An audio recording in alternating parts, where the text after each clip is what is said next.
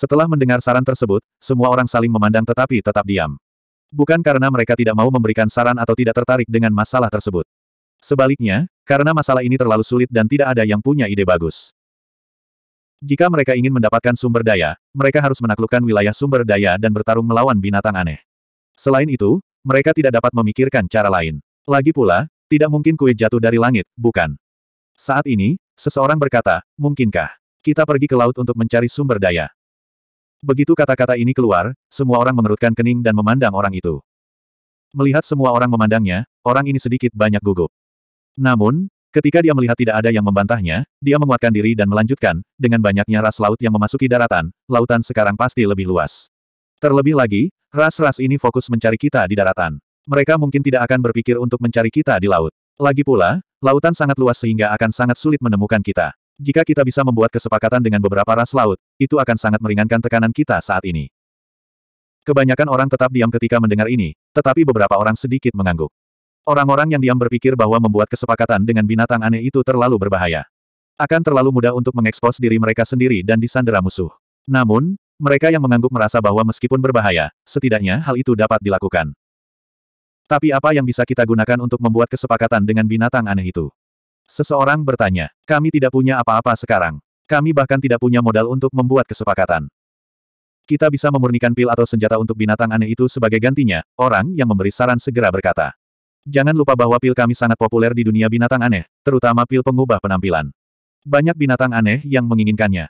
Semua orang terdiam lagi. Mereka semua mengakui bahwa saran ini sangat bagus. Namun, meski begitu, Membuat kesepakatan dengan binatang aneh saat ini kemungkinan besar seperti memasukkan domba ke dalam mulut harimau. Selalu ada unsur kerusuhan. Masalah ini perlu dibicarakan secara detail. Kita tidak bisa mengambil keputusan dengan mudah. Tetua inti dari Sekte Ilahi Yin Yang, Bian Zan, menarik napas dalam-dalam dan akhirnya berkata, mari kita kembali dan berdiskusi dengan pemimpin Sekte sebelum membuat keputusan. Tanda pisah tanda pisah tanda pisah. Tanda pisah tanda pisah. Di sebuah pulau di wilayah Laut Selatan kedua. Luan sedang tertidur lelap. Dia sudah tidur sangat lama. Dia tidak tahu sudah berapa hari dia tidak tidur. Sejak dia mengetahui kecelakaan Fuyu sampai sekarang, dia tidak membiarkan dirinya beristirahat. Benar sekali, sebenarnya tubuhnya sudah sangat lelah selama proses tersebut dan perlu istirahat, namun keinginan batinnya akan kekuatan membuatnya tidak bisa tidur. Meskipun dia tahu bahwa dia harus istirahat, tidak ada yang bisa dia lakukan. Dia tidur sepanjang hari dan malam, sampai tengah hari keesokan harinya, ketika matahari berada pada titik tertinggi dan paling menyilaukan, Luan merasakan ledakan rasa sakit di matanya. Dia memalingkan wajahnya dan memaksa menutup matanya. Air mata bahkan mengalir keluar dari tubuhnya secara naluriah karena rasa sakitnya. Mereka melesat melintasi cambangnya dan mengalir ke rumput. Dua napas kemudian, tubuh Luan tiba-tiba bergetar, dan dia duduk dari tanah karena terkejut. Hanya butuh sekejap baginya untuk berubah dari santai menjadi tegang. Dia melihat sekeliling dengan waspada dan gugup. Yang terlihat di matanya adalah hutan yang sunyi. Pepohonan di sini sangat tinggi, setidaknya setinggi 400 kaki atau lebih.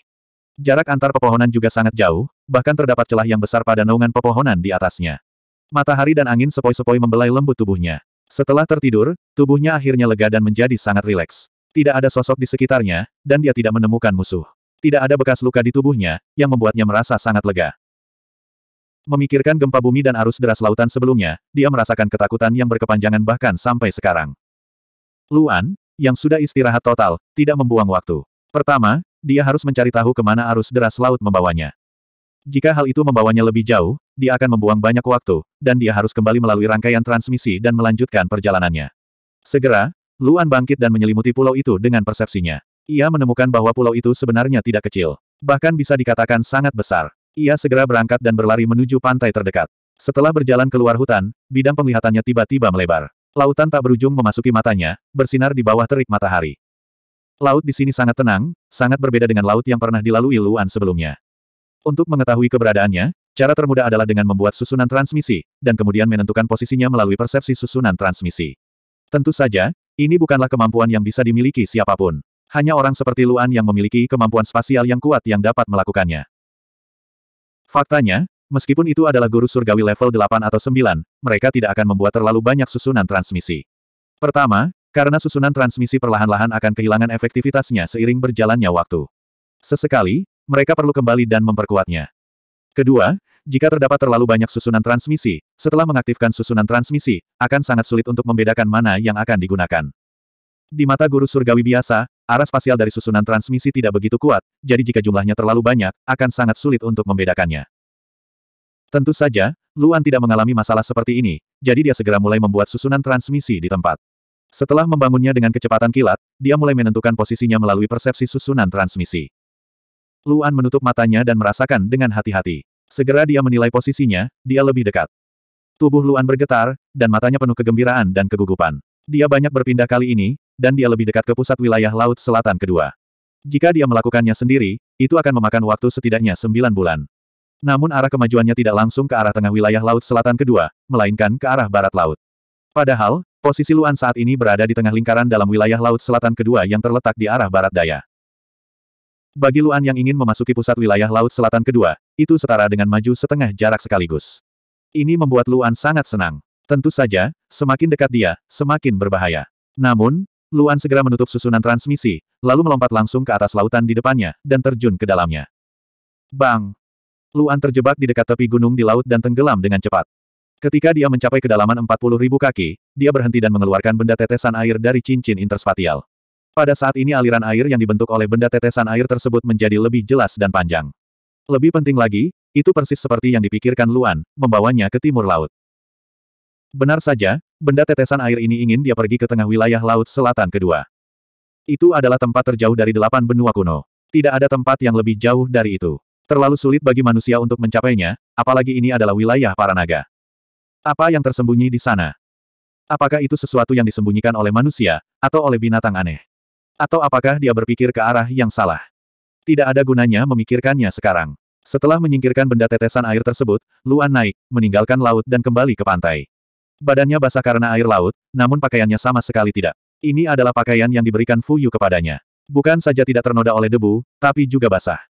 Demi Fuyu, Luan tidak ingin membuang waktu sedikit pun. Dia segera maju ke arah timur laut, tapi saat dia hendak bergerak, tiba-tiba, sebuah suara terdengar di belakangnya. Oh, Anda sudah bangun. Tubuh Luan bergetar hebat, dan dia membeku di tempat. Dia tidak pernah menyangka akan ada makhluk lain di sini. Dia buru-buru berbalik dan melihat ke belakang. Di saat yang sama, seluruh tubuhnya siap bertarung.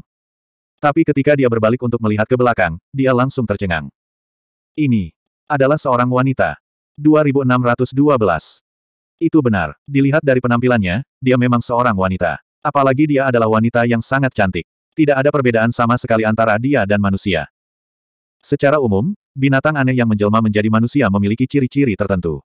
Bahkan Pangeran Ki pun memiliki karakteristik seperti itu. Pangeran Ki lebih tinggi dari kebanyakan pria, apalagi wanita. Terlebih lagi, kulit Pangeran Ki seputih salju, sangat indah dan putih mengharukan. Sedangkan untuk wanita di depannya, dia benar-benar tidak bisa melihat petunjuk apa pun dari penampilannya. Meskipun dia sangat tinggi, dia berada dalam jangkauan wanita normal. Tidak ada struktur khusus di tubuhnya. Dia persis sama dengan manusia. Namun, apa pun yang terjadi, aura seseorang tidak akan berubah. Luan dapat dengan jelas merasakan bahwa wanita ini tidak memiliki sedikit pun aura manusia. Dia jelas bukan manusia. Makhluk yang paling mungkin muncul di wilayah laut selatan kedua adalah naga. Namun, meski naga memiliki tanduk di kedua sisi kepalanya, wanita di depannya memiliki rambut panjang dan tidak mengenakan aksesoris apa pun. Jika dia punya tanduk, dia tidak akan bisa menyembunyikannya. Ras apa dia? Lautan kesadaran Luan dengan cepat menganalisis. Dia tidak bisa mendengar nada permusuhan dari nada bicara pihak lain. Dilihat dari isinya, terlihat jelas bahwa pihak lain telah menemukannya ketika dia tidak sadarkan diri. Namun, dia tidak mencoba membunuhnya. Aura wanita ini sangat kuat. Dilihat dari aura yang dia keluarkan secara tidak sengaja, itu tidak jauh berbeda dengan aura Luan. Jika dia benar-benar ingin membunuh Luan, dia akan mati saat dia tidak sadarkan diri. Luan menarik napas dalam-dalam. Karena wanita ini kemungkinan besar tidak memusuhi dia, dia tidak perlu terlihat terlalu gugup. Jika dia bisa mendapatkan teman di wilayah Laut Selatan kedua, itu mungkin akan sangat membantunya ketika dia pergi ke pusat wilayah Laut Selatan kedua. Salam, Nona. Luan menyingkirkan sikap waspadanya dan dengan hormat menangkupkan tangannya. Nona, apakah Anda pernah melihat saya sebelumnya? Merindukan. Wanita itu terkejut ketika mendengar ini. Kemudian, dia tersenyum seperti sekuntum bunga dan berkata dengan gembira, itu nama yang bagus. Melihat wanita ini, Luan merasa tatapan dan senyumannya penuh dengan energi spiritual. Ini bukanlah gambaran sederhana tentang karakter. Itu adalah energi spiritual yang nyata, energi spiritual yang unik. Jelas sekali, garis keturunan wanita ini sangat istimewa. Kemarin aku sedang beristirahat di sini ketika kamu tiba-tiba bergegas keluar dari laut dan pergi ke pantai. Wanita itu tersenyum dan berkata, kamu membuatku takut. Aku khawatir kamu akan dimakan oleh ikan-ikan buas di laut, jadi aku membawamu masuk untuk beristirahat. Luan tertegun dan langsung berkata, terima kasih telah menyelamatkan saya, Nona. Bukan apa-apa, bukan apa-apa. Wanita itu tersenyum dan memandang Luan dengan rasa ingin tahu. Sebaliknya, kamu sangat lelah saat keluar kemarin. Kupikir kamu akan tidur beberapa hari sebelum bangun. Aku tidak menyangka kamu akan pulih begitu cepat. Apakah semua manusia begitu sehat? Luan tidak perlu menyembunyikan fakta bahwa pihak lain percaya bahwa dia adalah manusia. Kalau tidak, dia mungkin menyinggung pihak lain, jadi dia menjawab, saya baik-baik saja. Mungkin saya agak istimewa. Saya merasa, sepertinya kami sangat akrab satu sama lain, tiba-tiba wanita itu berkata. Perasaan ini sangat intim. Pernahkah kita bertemu di suatu tempat sebelumnya? Luan jelas terkejut saat mendengar ini. Dia tidak menyangka wanita ini tiba-tiba mengatakan hal seperti ini. Namun, dia tidak tahu kenapa, tapi dia merasa wanita ini sepertinya tidak melakukan sesuatu yang jahat. Matanya bersinar, dan terlihat jelas bahwa dia mengungkapkan perasaan batinnya. Hal ini membuat Luan semakin bingung. Luan tidak merasa seperti itu, tapi sejujurnya, dia tidak tahu kenapa, tapi dia merasa wanita ini bisa dipercaya. Perasaan ini hanya muncul samar-samar dan mudah ditekan olehnya. Setelah berpikir sejenak, dia berkata, ini pertama kalinya saya berada di sini, dan juga pertama kalinya saya berada di Laut Selatan kedua. Begitu, wanita itu berpikir, namun dia tetap berkata sambil tersenyum, saya sangat senang bertemu dengan Anda. Saya belum pernah meninggalkan Laut Selatan kedua. Anda adalah manusia pertama yang pernah saya temui. Luan menggaruk kepalanya saat mendengar ini. Karena pihak lain sudah mengetahui bahwa dia adalah manusia, setelah memikirkannya, dia bertanya, bolehkah saya tahu? Anda ras apa? Aku. Senyuman wanita itu semakin cerah dan dia berkata dengan percaya diri, tentu saja aku naga. Tubuh Luan bergetar ketika dia mendengar ini, dan dia memandang wanita itu dengan heran. Naga. Lalu kenapa mereka tidak mempunyai tanduk di kepala mereka? Terlebih lagi, mata naga tidak akan berubah hanya karena transformasi. Melihat ekspresi kaget Luan, wanita itu jelas tahu apa yang membuatnya terkejut. Dia berkata, saya benar-benar aneh. Saya berbeda dari naga lainnya. Setelah bertransformasi, saya tidak memiliki tanduk di kepala saya, dan mata saya berbeda. Ini, Luan masih ragu karena sulit untuk mengatakan bahwa wanita ini adalah naga dari auranya setelah transformasi. Dia bertanya dengan tidak percaya, kamu termasuk ras naga yang mana? Aku, bukan anggota ras mana pun. Senyuman di wajah wanita itu sedikit memudar, dan dia berkata dengan lembut. Tidak termasuk ras mana pun. Luan memandang wanita itu dengan kaget lagi. Dia tidak mengerti apa maksudnya. Melihat ekspresi bingung Luan, wanita itu tidak peduli. Senyuman di wajahnya menjadi lebih cerah. Dia menatap matahari di atas kepalanya dan berkata, bukan saja saya bukan anggota ras mana pun, tetapi saya bahkan tidak punya keluarga. Saya tidak punya sanak saudara. Saya sendiri. Luan tercengang saat mendengar ini. Mungkinkah dia telah ditinggalkan seperti nyawanya sendiri? Mengapa? Luan bertanya, di mana sanak saudaramu? Mereka sudah mati. Wanita itu berkata dengan lembut, mereka semua mati. Tubuh Luan bergetar saat mendengar ini. Dia berkata dengan sangat menyesal, saya sangat menyesal. Sebenarnya, keluargaku cukup terkenal di kalangan naga. Wanita itu memandang Luan seolah dia akhirnya menemukan seseorang untuk diajak bicara. Dia berkata, hanya saja mereka tidak bagus. Ini karena garis keturunan di keluarga saya sangat istimewa. Selama mereka menikah dengan kita, mereka pasti akan mati. Luan bahkan lebih terkejut lagi saat mendengar ini. Dulu ayahku bertemu ibuku. Setelah mereka berdua berkumpul, tak lama kemudian mereka melahirkanku. Tak lama setelah aku lahir, mereka semua meninggal. Wanita itu berkata dengan lembut, ini adalah kutukan yang menjadi milik kita. Beberapa naga juga mengatakan bahwa itu adalah hukuman yang menjadi milik kita. Ras kita hanya dapat memiliki satu orang yang hidup dalam satu waktu. Begitu garis keturunan diturunkan, itu pasti akan terjadi menyebabkan kematian generasi sebelumnya. Tidak pernah ada pengecualian. Luan memandang wanita itu dan hatinya perlahan menjadi berat. Dia dengan tenang menganalisis ekspresi dan postur wanita itu. Penilaiannya adalah dia tidak berbohong. Jika dia tidak menyembunyikan informasi penting lainnya, dia memang sangat menyedihkan. Namun, setelah hidup sekian lama, Luan tidak akan mudah mempercayai orang lain. Dia bisa terlihat sangat percaya, tapi dia akan selalu waspada di dalam hatinya. Itulah kenapa aku cukup terkenal di kalangan naga. Semua orang yakin kalau aku pembawa sial. Wanita itu menundukkan kepalanya yang menghadap ke langit dan menatap Luan. Tidak ada naga lain di sekitar tempat tinggalku. Tidak hanya naga, tapi juga binatang aneh lainnya. Begitu mereka bermain denganku, mereka akan dikucilkan oleh naga lain. Itu sebabnya aku selalu hidup sendiri. Itulah mengapa kemunculanmu yang tiba-tiba membuatku sangat bahagia. Senyum kembali muncul di wajah wanita itu. Senyuman ini lebih cerah dari matahari, seolah semua kejadian ini tidak menyakitinya. Dia berkata pada Luan, bagaimana kamu bisa sampai di sini? Aku, Luan tersenyum pahit dan berkata, aku tersapu arus bawah laut sampai ke sini. Kalau begitu kamu benar-benar beruntung. Kamu pasti mendapat keberuntungan setelah selamat dari bencana besar. Wanita itu sangat optimis dan berkata, ini juga takdir kita bisa bertemu di sini. Kamu membuatku merasa sangat dekat. Apakah kamu bersedia berteman denganku? Luan terkejut. Dia tidak menyangka dia akan mengatakan hal seperti itu. Dia dengan cepat berpikir dalam lautan kesadarannya.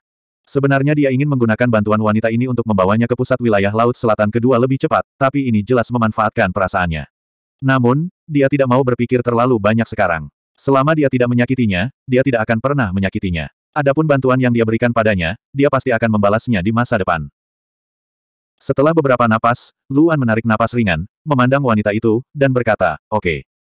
Aku akhirnya punya teman. Wanita itu sangat senang. Dia begitu gembira sehingga dia melompat ke pantai dan berlari ke sisi Luan dan berkata, Namaku Waner. Siapa namamu? Hati Luan menegang saat mendengar ini dan berkata, Namaku Enam Kecil. Enam Kecil. Waner terkejut dan berkata sambil tersenyum, itu nama yang mudah diingat.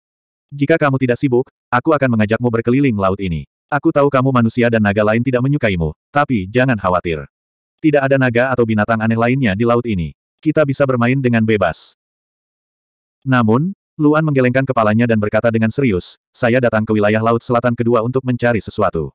Saya harus pergi dan pergi ke pusat wilayah Laut Selatan kedua. 2613.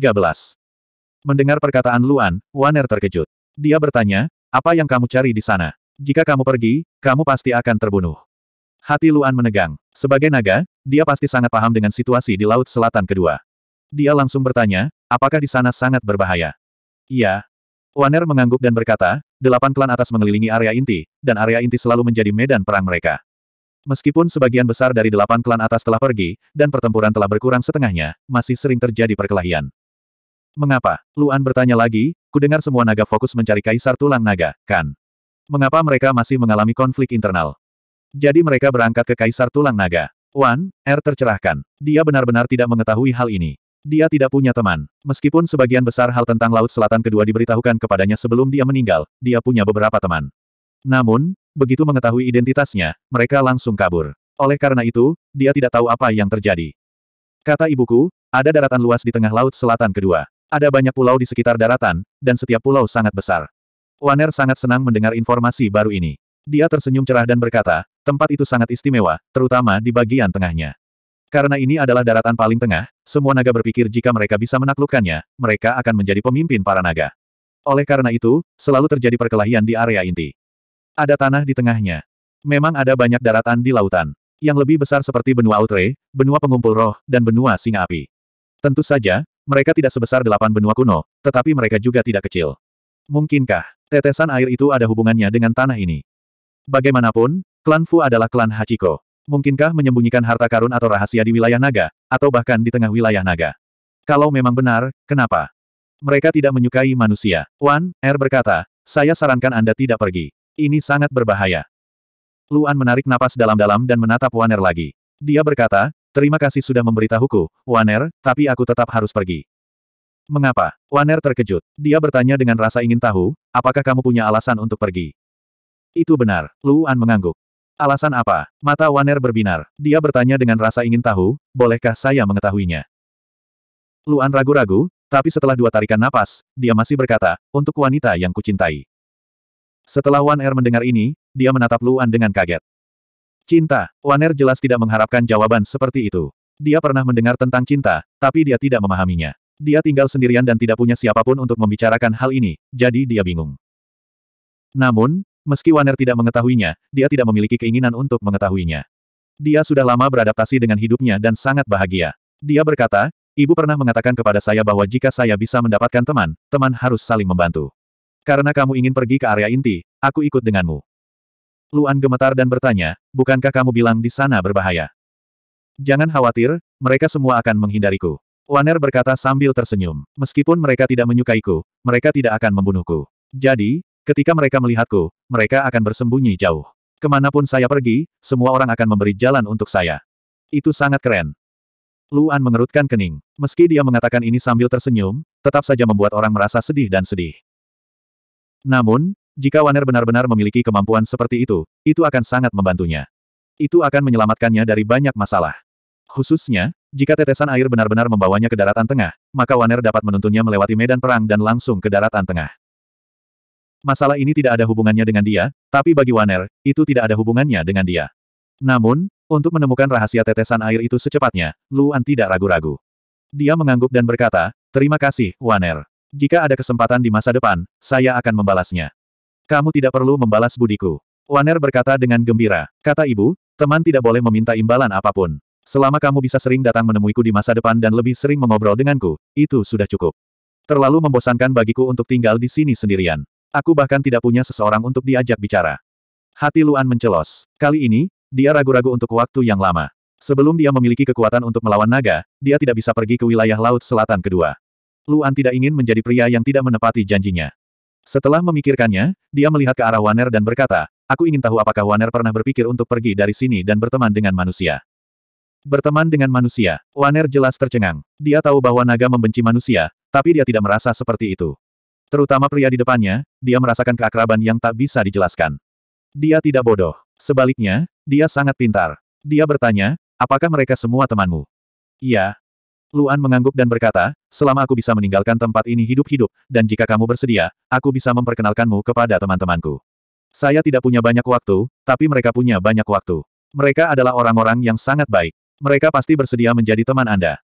Waner ragu-ragu lagi, tapi segera menunjukkan senyuman cerah. Dia berkata dengan gembira, karena kamu berkata begitu, aku bersedia mempercayaimu. Aku akan pergi bersamamu. Melihat Waner setuju, Luan merasa senyuman seperti itu tidak bisa dipalsukan. Lagi pula, dia telah terhanyut di sini oleh arus deras laut. Tidak mungkin memasang jebakan di sini sebelumnya. Hanya bisa dikatakan bahwa itu adalah takdir. Dia bersedia untuk percaya bahwa Waner memang naga yang murni dan baik hati. Kalau begitu ayo pergi sekarang. Luan menarik napas ringan dan berkata. Apakah kamu tidak ingin istirahat? Waner bertanya dengan cemas. Aku baik-baik saja sekarang, kata Luan dengan serius. Tapi saya hanya bisa bergerak maju dengan menyelam ke laut. Kalau tidak, saya akan ketahuan.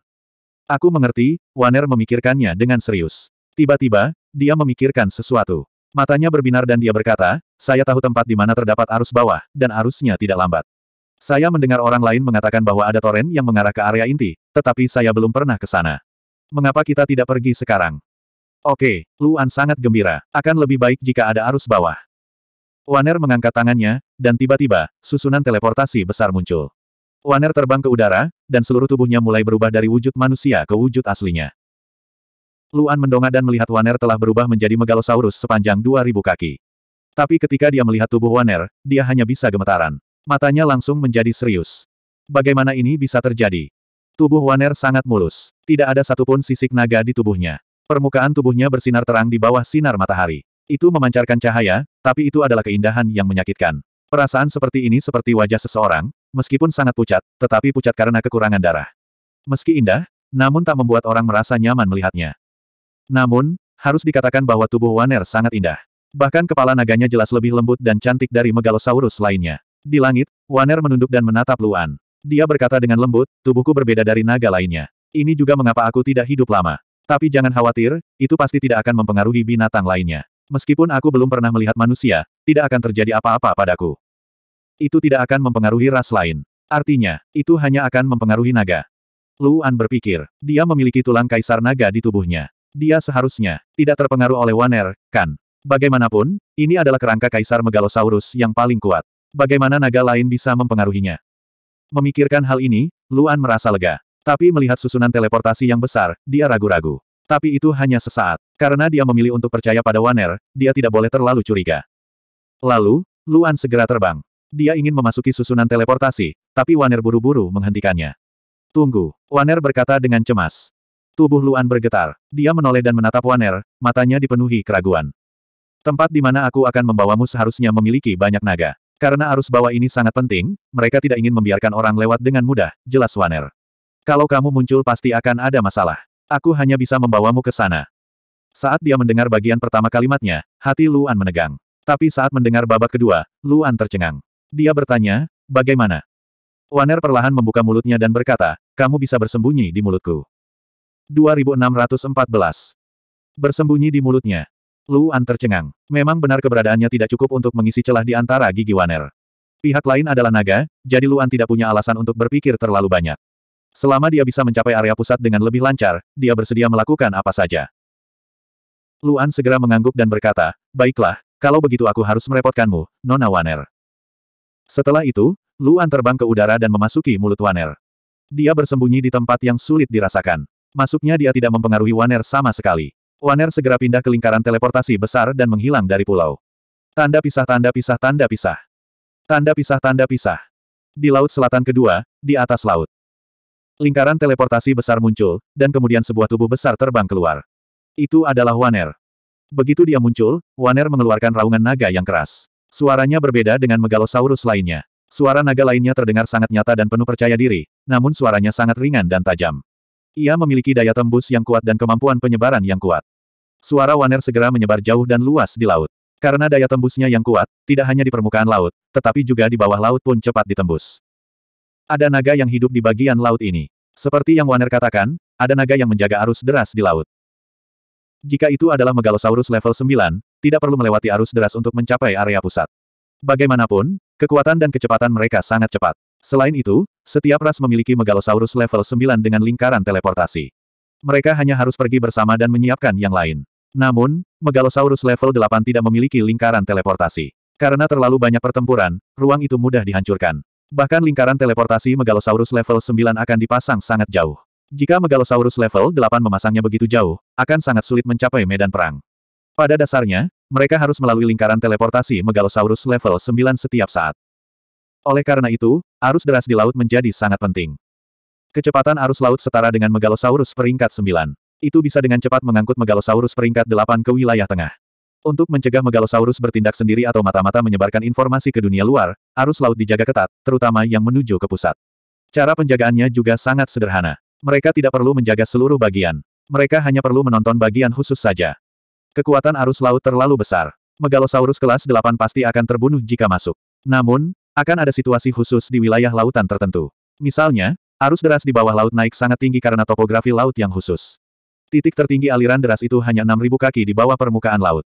Bahkan Megalosaurus yang dilemahkan hingga level Megalosaurus kelas 8 bisa memasuki toren.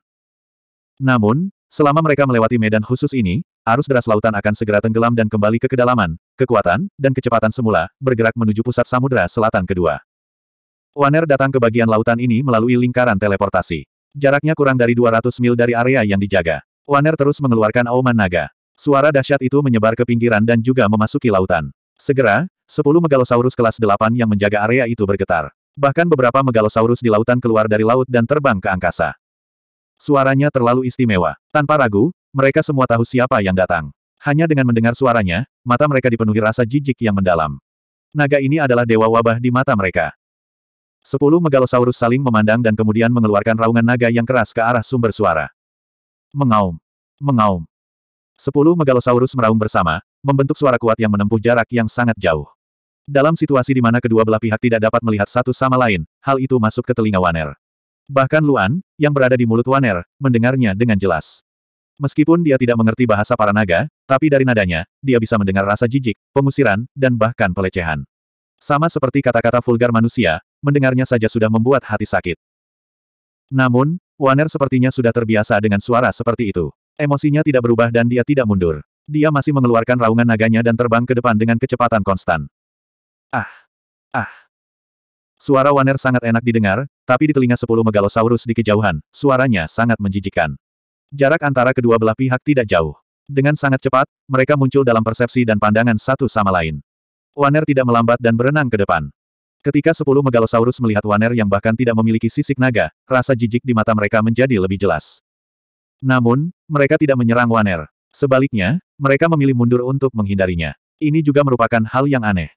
Meskipun naga-naga ini membenci Waner, membenci orang tuanya, dan membenci keluarganya, namun tidak ada megalosaurus yang benar-benar menyerang mereka.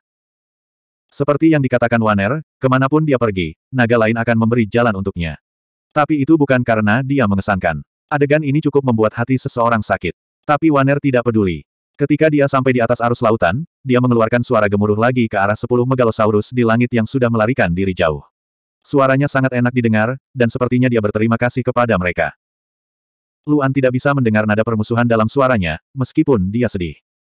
Luan benar. Waner tidak marah. Mungkin dia sedih, tapi dia tetap mengungkapkan rasa terima kasihnya kepada sepuluh megalosaurus. Namun rasa syukur ini sama sekali tidak mempengaruhi sepuluh megalosaurus. Mereka semakin kesal dan tidak merespon sama sekali. Lalu, Waner menukik turun dari langit. Tiba-tiba terdengar suara gemuruh yang keras di permukaan laut. Tubuhnya memasuki laut. Gemuruh. Laut sedang bergolak. Sepuluh megalosaurus tercengang. Mereka tidak menyangka Waner akan memasuki arus deras lautan. Tentu saja, mereka tidak akan menghentikannya. Faktanya, mereka tidak sabar menunggu Waner menghilang dari sini. Waner bukanlah anggota ras mereka, dia juga bukan mata-mata. Dia bisa pergi ke mana saja, selama dia tidak muncul di hadapan mereka lagi. Faktanya, di mata para naga, penampilan Waner sangatlah cantik. Dia bahkan naga yang paling cantik. Sayangnya, naga mana pun yang mendekatinya akan mati. Tidak ada naga yang tidak ingin hidup. Di lautan, tubuh Waner dengan cepat turun. Segera, dia mencapai kedalaman 40 ribu kaki. Bahkan jika dia tidak memasuki lautan, dia bisa mendengar suara gemuruh keras dari atas lautan. Saat dia mencapai titik ini, suaranya sudah sangat memekakkan telinga. Aliran besar lautan berada tepat di depannya. Kekuatan dan kecepatan semburan lautan ini mirip dengan apa yang dialami Luan, tetapi wilayahnya jauh lebih luas. Mungkin karena medan lautnya, tapi lebar alirannya 60 ribu kaki dan tingginya 30 ribu kaki. Itu lebih dari cukup untuk menampung Waner. Saat Waner melihat aliran deras itu, matanya menyipit. Tapi dia ragu-ragu sejenak dan segera mempercepat dan bergegas masuk. Ledakan. Luan, yang berada di mulut Waner, tiba-tiba merasakan kejutan. Matanya langsung berubah dingin. Bahkan di sini, dia bisa merasakan getarannya dari jarak sejauh itu. Ini berarti Waner pasti terkena dampak yang sangat serius. Ya, bahkan dampak derasnya lautan ini pun sangat kuat. Namun, tidak banyak megalosaurus yang masuk bersama-sama. Jika hanya satu megalosaurus yang masuk saja, ia akan langsung terluka. Waner tidak memiliki sisik naga. Pertahanannya tidak sebaik megalosaurus lainnya, sehingga dampaknya lebih kuat. Segera, salah satu sisi tubuh Waner dipukul hingga darah mengalir keluar. Bahkan organ dalamnya pun terkena dampak yang sangat besar. Bisa dibilang dia terluka parah. Namun, Waner masih berhasil bergegas menuju arus deras lautan. Segera, kekuatan besar mendorongnya ke depan. Tubuhnya terpaksa berputar di arus deras. Dia tidak bisa menstabilkan dirinya sendiri. Untungnya, kekuatan di sini hanya setara dengan level 8. Setelah Waner dengan paksa memutar tubuhnya, dia perlahan-lahan menjadi stabil, tapi hanya di sini. Setelah terbang sejauh ratusan mil, hanya beberapa detik setelah Waner menstabilkan tubuhnya, medan lautan berubah drastis. Ia mulai secara bertahap melepaskan diri dari medan dan kembali ke arus lautan yang sebenarnya. Di depannya, yang dia hadapi adalah tebing. Luan, yang masih berada di dalam mulut Waner, tiba-tiba merasa tidak berbobot. Dia merasa jatuh tanpa henti. Dia dengan cepat menstabilkan tubuhnya dan mempertahankan postur tubuhnya untuk mengurangi dampaknya. Bagaimanapun, dia ada di mulut Waner. Tak sulit baginya untuk tidak terkena dampak langsung derasnya lautan. Tapi itu berbeda untuk Waner. Toren jatuh secara vertikal. Kerusakan pada Waner bahkan lebih serius dari sebelumnya. 2615. Gemuruh. Dari 6.000 kaki di bawah laut, mereka jatuh lebih dari 10.000 kaki dalam sekejap. Dampaknya yang kuat membuat Waner sangat tidak nyaman. Tidak hanya bobotnya yang tidak berbobot, namun dampak arusnya juga meningkat pesat. Saat arus turun ke dasar laut, seperti air terjun yang menghantam tanah, menimbulkan gelombang besar. Air di daerah ini sangat kacau dan listriknya sangat rumit. Tubuh Waner pada awalnya tidak kuat, sehingga menyebabkan kerusakan serius pada Waner lagi. Cedera kali ini cukup mengancam nyawa Waner. Luan, yang berada di mulut Waner, melihat darah mengalir ke mulutnya seperti sungai, tapi Waner mengendalikannya dan menelannya kembali. Tubuh Wan, Er terus berputar dalam kekacauan. Sangat sulit menjaga keseimbangannya, apalagi mengontrol arahnya. Dia hanya bisa terdorong ke depan oleh arus. Dalam situasi ini, Luan tidak dapat membantu sama sekali. Dia hanya bisa melihat apakah Wan, Er bisa menahannya. Situasinya sangat berbahaya sekarang. Wan, Er mungkin tidak mampu menahannya, dan kemudian dia akan mati terbawa arus. Luan tidak ingin menyakiti orang lain, tapi dia juga tidak ingin orang lain mati karena dia. Luan memiliki ki abadi dan kekuatan kematian. Dia sangat sensitif terhadap hidup dan mati. Dia bisa merasakan bahwa hidup Waner terkuras habis. Jika ini terus berlanjut, maka hal ini tidak dapat diubah lagi. Ketika saatnya tiba, hanya kematian yang menantinya. Apa yang harus saya lakukan? Meskipun Luan memiliki ki abadi, dia tidak mengetahui mantra penyembuhan apa pun. Dia benar-benar tidak berdaya. Saat ini, tubuh Luan bergetar. Dia tiba-tiba memikirkan sesuatu. Pil abadi. Kekuatan penyembuhan dari pil abadi tidak perlu dikatakan lagi. Selama masih ada nafas yang tersisa, itu bisa menghidupkan kembali seseorang. Namun, pil abadi selalu menjadi pil manusia. Luan tidak tahu apakah itu akan berhasil pada binatang aneh. Namun, Luan percaya bahwa pil abadi memiliki kekuatan penyembuhan yang kuat karena ki abadi. Immortal ki adalah kekuatan hidup murni, jadi itu harus efektif pada makhluk hidup apa pun. Tidak ada waktu bagi Luan untuk berpikir terlalu banyak. Luan harus menghentikan kehidupan Waner agar tidak mengalir begitu saja. Dia segera mengeluarkan pil abadi dari cincin luar angkasanya dan melemparkannya ke tenggorokan Waner. Suara mendesing. Pil surgawi dengan cepat menghilang ke dalam mulut Wan Er. Saat itu memasuki tubuh Wan Er, tubuh Wan Er bergetar. Matanya, yang secara bertahap kehilangan kekuatan karena luka-lukanya, tiba-tiba melebar dan kekuatan hidup yang mengerikan menyapu seluruh tubuhnya. Itu berhasil. Tubuh Luan gemetar. Ini memang efektif. Dia bisa dengan jelas merasakan vitalitasnya yang meningkat pesat. Ini adalah obat mujarab yang disempurnakan secara pribadi oleh permaisuri surgawi. Belum lagi Megalosaurus level 8, bahkan Megalosaurus level 9 pun bisa dihidupkan kembali.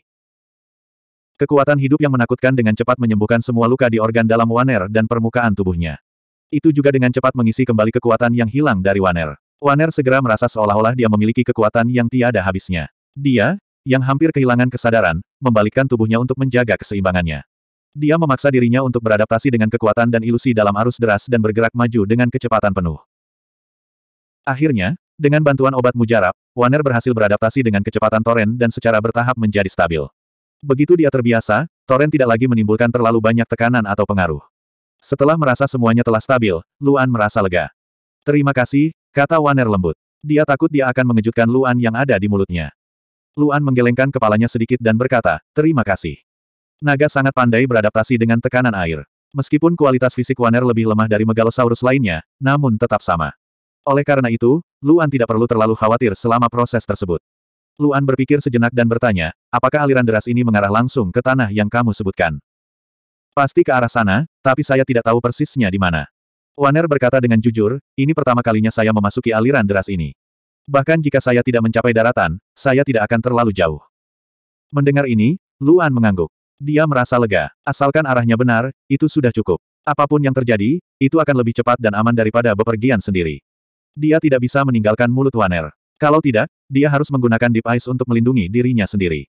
Dia masih belum bisa sepenuhnya mempercayai Waner, terutama saat dia mengenali roda takdir miliknya. Dia pasti akan memberitahunya jika dia berdiri di posisi naga. Bahkan jika Luan harus mengukur hati seorang pria dengan ukuran penjahat, dia harus melakukannya. Karena itu, dia menutup matanya dan bermeditasi di mulut Waner. Dia tidak ingin membuang waktu. Tanda pisah tanda pisah tanda pisah. Tanda pisah tanda pisah. Tujuh hari kemudian. Markas besar persatuan di delapan benua kuno. Pada saat ini, semua master sekte dan penguasa dari 30 sekte telah berkumpul di sini, termasuk Liu Yi dari Persatuan Es dan Api.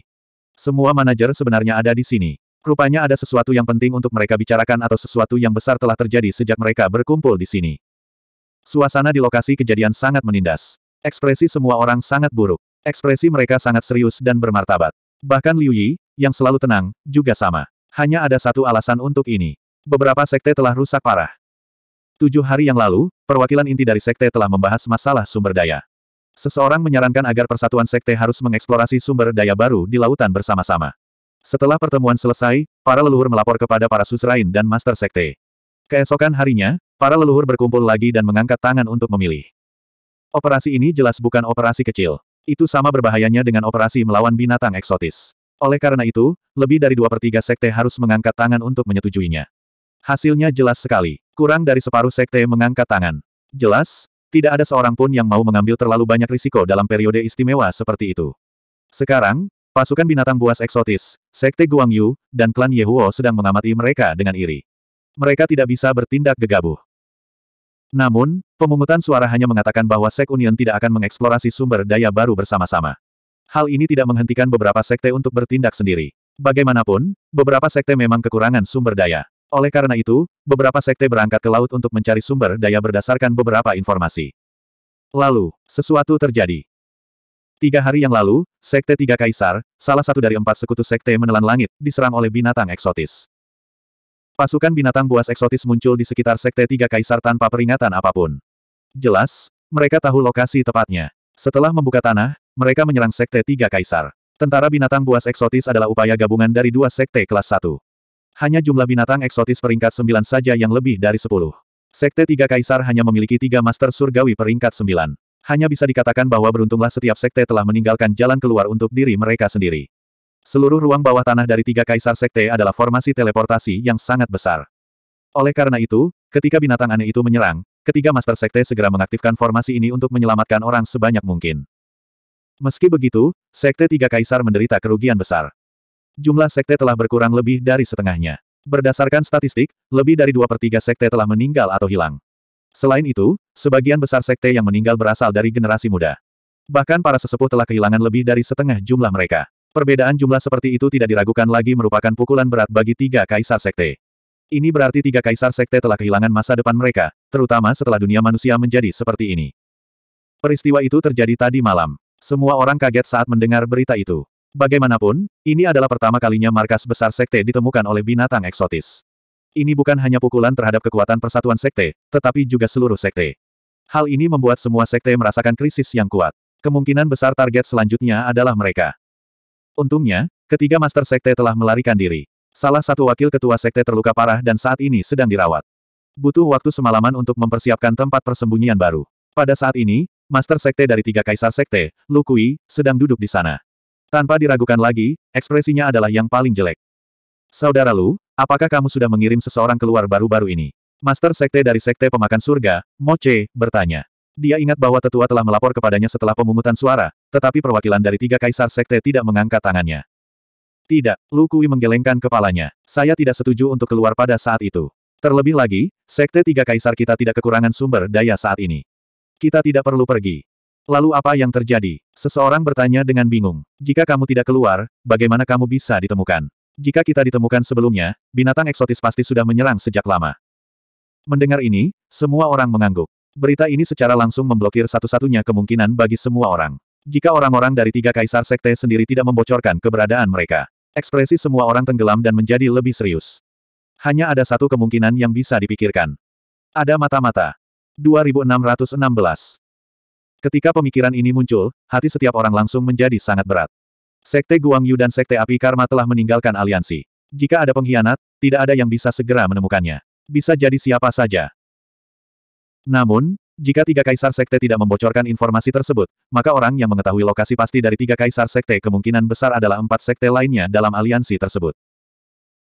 Selain sekte pemakan surga, sekte seratus senjata, sekte jenderal ilahi, dan sekte langit besar juga tergabung dalam aliansi. Semua orang tanpa sadar melihat keempat sekte. Meskipun ada sejumlah kecurigaan di mata setiap orang, ada lebih banyak kebingungan daripada keraguan. Benar sekali, keempat sekte tersebut memiliki reputasi yang baik. Seluruh aliansi selalu bersatu di bawah kepemimpinan Sekte Pemakan Surga. Mengapa mereka tiba-tiba mengkhianati sekutunya? Lebih jauh lagi, melakukan hal itu akan menghabiskan kekuatan aliansi mereka sendiri. Manfaat apa yang akan mereka peroleh? Pemimpin Sekte Bumi, Huang Ding, bertanya kepada pemimpin Sekte Pemakan Surga, Mo Che, bolehkah saya bertanya kepada pemimpin Sekte Mo, orang di tingkat mana di aliansi Anda yang memenuhi syarat untuk mengetahui lokasi sekutu lainnya? Moche mengerutkan kening. Bukannya dia tak mau menjawab, tapi hatinya terasa berat karena masalah ini. Ini bukanlah rahasia. Moche menarik napas dalam-dalam dan berkata, hanya berbagai pemimpin sekte dan pemimpin sekte, serta dua hingga tiga tetua inti, yang memenuhi syarat untuk mengetahuinya. Dua hingga tiga tetua inti.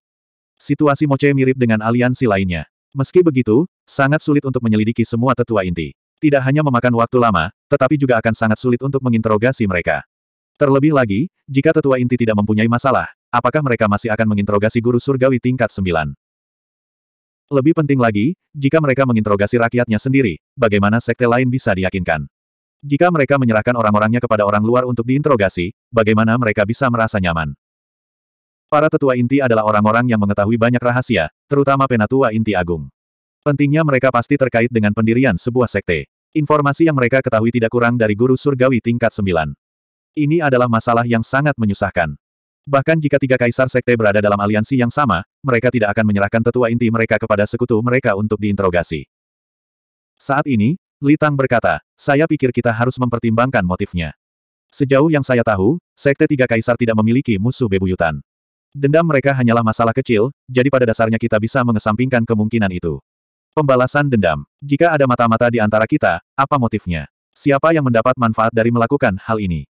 Semua orang mengangguk ketika mendengar ini. Ini memang arah pemikiran yang benar. Siapa yang ingin aliansi sekte saat ini menderita kerugian besar atau bahkan terpecah belah? Semua orang saling memandang, tetapi tidak peduli bagaimana penampilan mereka, tidak ada yang memiliki target yang akurat. Bagaimanapun, sekte-sekte itu sekarang berada di perahu yang sama. Setiap orang harus mengandalkan kekuatan aliansi untuk bertahan hidup. Hanya ada satu alasan untuk menghancurkan aliansi tersebut, dan itu adalah untuk menargetkan aliansi Api Es dan Luan, sama seperti Sekte Guang Yu dan Sekte Api. Jika Luan terus hidup dan menjadi ancaman fatal bagi sebuah sekte, mungkin saja dia akan menghancurkan seluruh aliansi sekte. Ini adalah kemungkinan yang paling mungkin, namun sekte Guang Yu dan sekte Api Karma sudah pergi, jadi siapa yang bisa melakukan itu? Apakah ada orang yang percaya pada Sekte Tiga Kaisar? Wang Yang Cheng bertanya dengan cemberut. Lu Hui menoleh untuk melihat Wang Yang Cheng dan menggelengkan kepalanya. Peraturan sekte kami sangat ketat. Tidak seorang pun diperbolehkan menganut agama apa pun atau berhubungan dengan pengikut mana pun. Sekte kami tidak pernah berinteraksi dengan Sekte Api Karma. Terlepas dari apakah kami mengambil inisiatif atau tidak, kami tidak pernah berinteraksi satu sama lain. Saya yakin semua orang sangat jelas tentang hal ini. Banyak orang mengangguk. Sekte Tiga Kaisar sebenarnya adalah sekte yang relatif low profile. Aturan sekte sangat ketat dan sangat disiplin. Hal seperti ini seharusnya tidak terjadi. Namun, jika itu yang terjadi, tidak ada kemungkinan lain. Mungkinkah Sekte Tiga Kaisar benar-benar tidak beruntung bertemu dengan dua sekte kelas satu kemarin? Suasana hati setiap orang sangat berat. Ancaman dari hal yang tidak diketahui adalah yang paling menakutkan. Setelah beberapa lama, Huang Ding menarik napas dalam-dalam dan berkata kepada Lu Hui, sepertinya masalah ini perlu dibicarakan panjang lebar. Sekte Tiga Kaisar juga perlu pulih perlahan. Jika Sekte Master Lu membutuhkan sesuatu, beritahu kami. Karena kita berada dalam aliansi, kita perlu saling membantu. Tidak perlu bersikap sopan. Lu Hui hanya bisa mengangguk. Hal ini telah dibahas hingga saat ini, namun belum ada kemajuan praktis. Tidak lama kemudian, pertemuan itu berakhir. Setiap orang kembali ke sekte masing-masing untuk terus berpikir dan berdiskusi. Di aliansi APS, Liu Yi kembali dan memberitahu yang lain tentang masalah ini. Mendengar ini, si cantik yang mengerutkan kening dan bertanya pada Liu Yi, apakah Anda punya pemikiran? Bahkan Liu Yi menggelengkan kepalanya sedikit dan berkata, saya tidak menyangka yang pertama diserang adalah Sekte Tiga Kaisar. Dengan informasi saat ini, kami tidak dapat menganalisis musuh. Kami hanya dapat bersiap dan menunggu langkah musuh selanjutnya. Tanda pisah tanda pisah tanda pisah. Tanda pisah tanda pisah. Tiga hari kemudian. Di lautan luas wilayah Laut Selatan kedua. Sudah sepuluh hari sejak Luan dan Waner memasuki arus lautan. Jalur arus lautan jauh lebih memutar dari yang diperkirakan. Jarak yang ditempuh bolak-balik jauh lebih jauh dari jarak sebenarnya. Dalam sepuluh hari ini, bahkan Waner, yang telah beradaptasi dengan tekanan air, merasa kesulitan untuk menahan tekanan tersebut. Jelas sekali auranya menjadi semakin lemah. Tapi bagaimanapun juga, situasi Waner jauh lebih baik daripada situasi Luan. Bagaimanapun, Luan terluka parah, memperburuk keadaan. Pada hari ini, apakah itu Waner atau Luan, mereka dapat dengan jelas merasakan bahwa tekanan air di arus semakin berkurang. Kecepatan arus juga perlahan melambat. Namun, proses perlambatannya tidak terlalu cepat. Bahkan setelah setengah hari, itu masih lebih cepat daripada bepergian sendiri. Keduanya tidak pergi. Mereka berencana menunggu hingga arus laut menghilang. Setelah sekitar setengah hari, langit berangsur-angsur menjadi gelap. Kekuatan arusnya telah melemah hingga di bawah kekuatan guru surgawi tingkat delapan. Dengan cepat menghilang, Waner segera bangkit dari dasar laut. Dia menerobos permukaan laut dan terbang ke langit. Air laut terus berjatuhan dari tubuh mulusnya. Itu sangat terang di bawah sinar bulan. Setelah mencapai langit, Luan pun meninggalkan mulut Waner. Dia memandangi lautan tak berujung di sekelilingnya. Hal pertama yang dia lakukan adalah membuat lingkaran sihir transmisi. Setelah dengan cepat menyiapkan lingkaran sihir pemancar, Luan memastikan posisinya melalui persepsi spasial antara dia dan lingkaran sihir pemancar lainnya. Setelah memastikan, Luan langsung merasa senang. Benar saja, dia berada pada posisi yang sangat dekat dengan pusat wilayah Laut Selatan kedua. Dari persepsi spasial, meski jaraknya masih jauh, meski Luan terbang sendirian, dibutuhkan waktu kurang dari setengah bulan untuk mencapai daratan tengah. Awalnya ia mengira butuh waktu setengah tahun atau bahkan satu tahun untuk mencapai tujuannya. Dia tidak menyangka akan secepat itu. Luan sangat senang. Dengan cara ini, dia bisa menemukan rahasia objek tetesan air lebih cepat dan menyelamatkan Fu Yu lebih cepat. Karena dia sudah ada di sini, Waner tidak perlu mengirimnya. Kemungkinan besar ada banyak naga di depan. Begitu mereka mengetahui bahwa Waner bersama seorang manusia, dia pasti akan terlibat, apalagi dia. Luan segera menoleh ke arah Waner dan berkata dengan penuh rasa terima kasih, terima kasih, Nona Waner, karena telah mengirimku ke sini. Di depan sangat berbahaya. Aku tidak tahu apa yang akan terjadi. Aku akan pergi sendiri.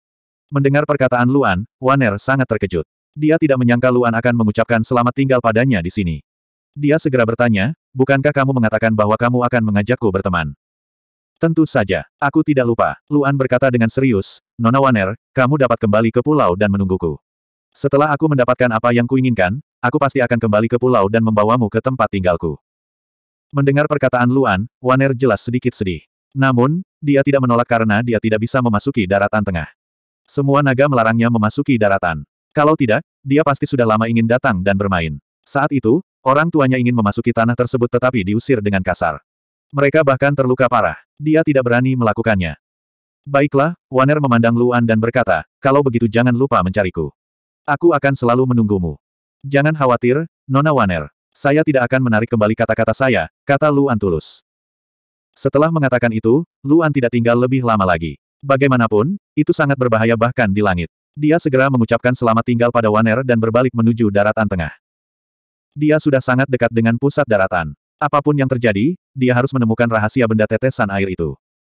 2617 Central Land sangat luas, jauh lebih besar dari yang dibayangkan Luan. Dalam benak Luan, wilayah benua tengah seharusnya lebih besar dari negara bagian Kie.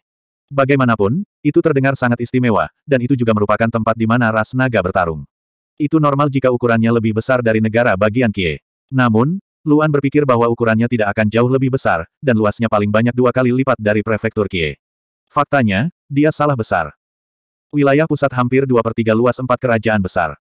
Benar sekali, itu adalah sebidang tanah yang sangat luas. Bahkan negeri singa api tidak bisa dibandingkan dengannya. Ada banyak pulau di luar sebidang tanah ini. Mereka begitu padat sehingga bahkan para naga pun tidak dapat dihitung. Bahkan jika seseorang melewati pulau-pulau untuk mencapai daratan tengah, itu masih membutuhkan waktu yang lama. Banyak megalosaurus yang tinggal di pulau-pulau ini alih-alih memasuki daratan tengah. Alasannya sederhana. Mereka tidak ingin memulai pertarungan di Central Land. Memang ada suatu masa ketika delapan ras atas memulai perang besar-besaran di daratan tengah. Saat itu menyebabkan banyak kerusakan di Central Land. Lebih penting lagi, setelah daratan tengah rusak, laut di sekitarnya menjadi sangat tidak stabil. Badai tersebut berlangsung selama ratusan tahun sebelum berhenti, dan berdampak pada wilayah yang sangat luas. Sejak itu, delapan ras atas berusaha semaksimal mungkin untuk tidak melukai wilayah tengah. Namun, mereka juga merasa bahwa Central Land mungkin menyembunyikan beberapa rahasia. Mau bagaimana lagi, hanya daratan tengah dan pulau-pulau yang tak terhitung jumlahnya di sekitarnya membuat orang bodoh pun berpikir bahwa tempat ini tidak normal. Kali ini, Luan tidak memilih untuk terbang sejauh 40 ribu kaki ke laut. Sebaliknya, ia terbang di permukaan laut, kurang dari sepuluh kaki di bawah permukaan. Alasannya sederhana. Begitu pertempuran terjadi, dia akan segera terbang ke langit. Apa pun yang terjadi, dia tidak ingin bertarung di laut. Kalau tidak, dia tidak akan seberuntung itu jika dia ditarik ke kedalaman laut lagi. Sekarang sebagian besar naga berada di luar, jumlah megalosaurus seharusnya berkurang. Luan mengerahkan energi spasial di tubuhnya saat dia terbang. Dia siap bersembunyi di ruang ciptaannya sendiri kapan saja. Kecepatannya sangat cepat. Ia terbang dengan kecepatan penuh di bawah permukaan laut menuju pulau terluar. Dari sini sampai ke pulau terluar butuh waktu tiga hari. Untungnya, Luan bertemu dengan dua naga selama tiga hari ini, tapi dia bersembunyi di angkasa untuk menghindari mereka. Tiga hari kemudian, pada sore hari, dia akhirnya melihat pulau-pulau di kejauhan. Mereka berbaris di lautan di depannya, seolah-olah itu adalah titik-titik yang bisa dihubungkan menjadi sebuah garis. Setelah melihat pulau itu, ekspresi Luan menjadi lebih serius. Naga belum tentu beristirahat di pulau mana pun di depannya. Sangat mungkin ada naga tepat di depannya, tapi dia tidak tahu kalau mereka sedang mendekat. Dia harus bersiap bertarung kapan saja. Hanya dengan begitu dia memiliki peluang lebih tinggi untuk bertahan hidup. Meskipun Divine Sense-nya lebih tegang, kecepatan Luan tidak melambat sedikit pun. Saat dia terus maju, titik di kejauhan semakin membesar, dan bentuk pulau perlahan-lahan muncul. Luan tidak memilih untuk memasuki ruang penciptaan. Meski aman, namun terlalu lambat. Dengan kecepatan penuh, dia segera tiba kurang dari 50 mil jauhnya dari pulau pertama. 50 mil sudah sangat dekat. Dengan kecepatan penuh, hanya butuh waktu sekejap. Mata Luan menyipit. Dia tidak melambat dan bergegas menuju pulau di depan. Suara mendesing. Sosok Luan muncul di pulau itu dalam sekejap. Dia mendarat dengan kokoh di tengah pulau dan segera menyebarkan persepsinya untuk menutupi lingkungan sekitar. Persepsinya tidak hanya mencakup seluruh pulau, tetapi juga laut di sekitarnya dan pulau-pulau lainnya. Dengan kekuatan Luan saat ini, itu sangat mudah. Tidak ada naga. Luan tidak santai sama sekali. Setelah sampai di sini, dia tidak bisa bergerak maju dengan kecepatan penuh seperti sebelumnya. Jika tidak, dia akan melepaskan banyak aura, dan akan mudah bagi pihak lain untuk mendeteksinya dengan alasan bahwa dia tidak dapat melihat pihak lain. Ini adalah perilaku yang sangat berbahaya. Dia akan bergerak maju dari pulau ke pulau, berusaha secepat mungkin. Segera, Luan bergerak menuju pulau di depannya dan muncul lagi di tengah pulau. Lebar lingkaran pulau di luar pulau tengah sangat besar. Butuh beberapa hari untuk melewatinya, dan itu juga tergantung pada kecepatan Luan dan apakah dia menemui masalah. Bang! Luan menginjak tanah. Ini adalah pulau ke-20 yang dia lewati. Setelah mengamati dua tarikan napas, dia bergerak maju lagi. Di saat yang sama, di sisi lain. Di luar pulau tengah, di gugusan pulau, banyak megalosaurus yang bercokol di sini.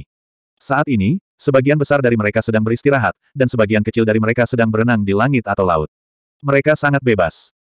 Sejak kemunculan tulang kaisar naga, pertarungan di sini telah berkurang banyak. Mereka juga bisa menyelamatkan banyak masalah. Seringkali mereka sedang bertugas jaga, yaitu istirahat. Mereka tidak bertengkar selama lebih dari sebulan. Meski mereka pernah bertarung sebelumnya, itu hanya pertarungan kecil. Sekarang, tidak ada naga yang akan memperhatikan hal ini. Di antara megalosaurus yang sedang beristirahat, beberapa megalosaurus sedang tertidur bahkan mengeluarkan nafas naga yang keras. Laut di sekitarnya bergetar, dan orang-orang khawatir pulau itu akan runtuh.